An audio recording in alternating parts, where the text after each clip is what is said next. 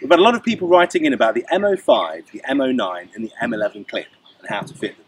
The good news is it's really easy and I'm going to show you how. So the wider side of the clip is where the blind fits in and the narrow side of the clip actually goes into the door frame. In your kit you'll find this trim tool and this allows you to safely pull back the door rubber without damaging the paint.